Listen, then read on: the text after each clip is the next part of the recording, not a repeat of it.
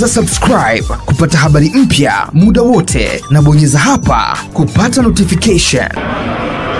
Februari 3, 2011 Mbwana alisamata alikusanya kijiji cha timu yake ya zamani Africa Lyon na kufunga moja ya mabao ya kiwango cha juu zaidi kwenye historia ya ligi kuu Tanzania.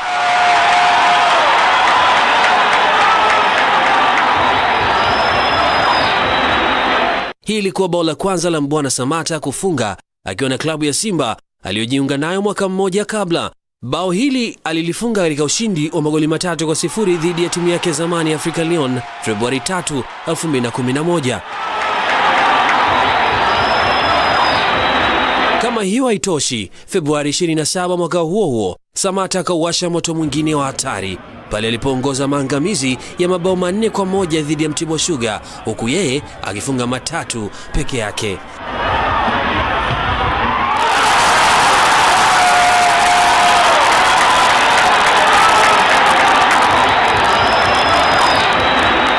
Kwa ujumla Samata aliifungia Simba mabao saba kwenye ligi kuu katika nusu msimu aliowatumikia wekundu hao wa Msimbazi. Mabao hayo aliyafunga kwenye mechi nne. Akiomba Gala Market ambayo baadaye ikabadilishwa jina na kuwa Africa Lyon, Samata alifunga mabao zaidi ya 30 yakiwemo 15 katika msimu wa 2008-2009 yaliyoisaidia timu hiyo kupanda daraja hadi ligi kuu.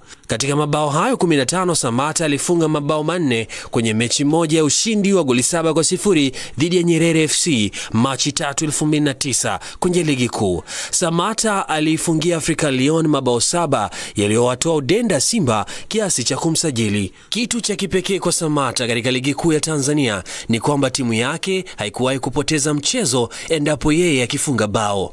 Alipokuwa Africa Lyon, Samata alifunga mabao saba katika mechi tano ambazo timu yake ilishinda zote, na alipokuwa Simba alifunga mabao saba katika michezo minne ambayo Simba ilishinda mitatu na kutoka sare moja ya mbili mbili dhidi ya Toto African Februari 16, 2011.